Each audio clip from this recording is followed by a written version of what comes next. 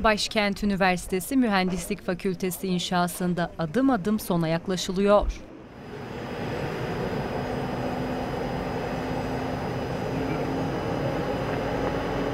Akademik personelin odalarına yerleştiği fakültenin yollarının tamamıyla otoparkın büyük bölümünün asfalt çalışması da tamamlandı.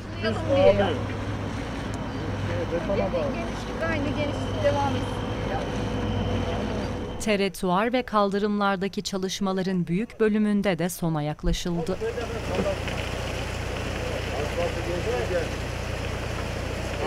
Profesör Doktor Mehmet Haberal, Türkiye Cumhuriyeti'nin 100. yılında gençlere kazandıracağı Mühendislik Fakültesi inşaatının ilk asfalt serilmesi çalışmalarını yakından takip etti. Profesör Haberal, inşasında sona yaklaşılan ve açılış için gün sayılan Mühendislik Fakültesi binasının içinde ve çevresinde incelemelerde bulundu.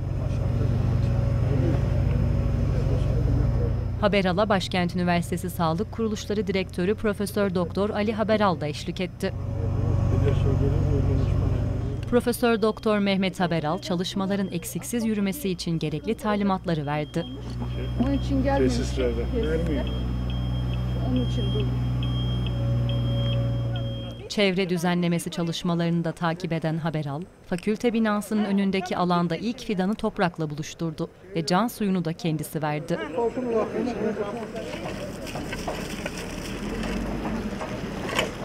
Peyzaj çalışması yapan ekipler de Mühendislik Fakültesi çevresinde belirlenen yeşil alanda ağaçlandırma çalışmalarını sürdürdü.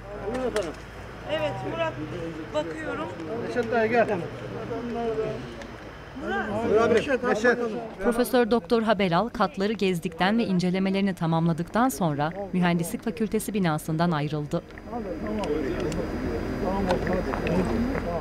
Cumhuriyet'in 100. yılında gençlere armağan olarak yeni eğitim öğretim yılında kapılarını öğrencilere açacak olan Mühendislik Fakültesi kompleksi 30 bin metrekare alan üzerine inşa edildi.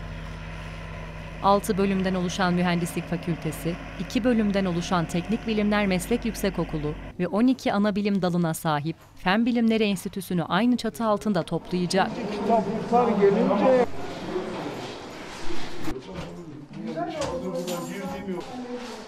En son teknolojiyle donatılacak Mühendislik Fakültesi, 36 derslik, 3 serbest çalışma alanı, 184 ofis, 2 girişimci ofisi, 12 öğrenci kulüp odası, 73 laboratuvar, 3 seminer salonu, 6 toplantı ve konferans salonu, 2 video konferans odası, 4 amfi, 1 kafeterya ve 34 genel destek birimiyle kaliteli eğitim hizmetine yeni binasında devam edecek.